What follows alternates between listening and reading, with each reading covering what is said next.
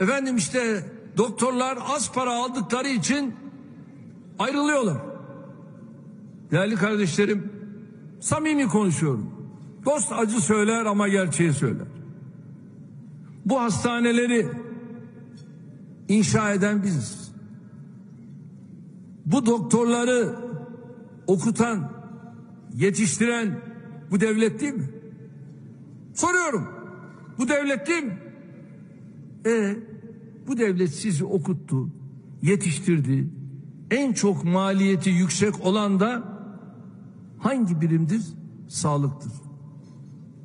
Ama şimdi efendim işte az para veriyormuş. Sordum. En az alan ne alıyordur? E 8 bin 9 bin. En yüksek alan ne alıyordur? İşte 25 bin civarında alıyordur. Vesaire. E buna rağmen özel sektör çok daha büyük paralar verdiği için oralara kaçıp gidiyorlarmış. Bakın açık konuşuyorum. Açık konuşmayı severim. Varsın gidiyorlarsa gitsinler. Bizler de üniversiteleri yeni bitiren doktorlarımızı buralarda istihdam ederiz.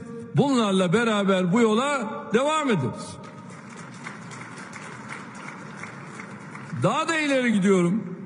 Gerekirse yurt dışından ülkemize dönmek isteyenleri süratle buraya davet eder ve onları da ülkemizde istihdam ederiz. Buralar boş kalmaz merak etmeyin.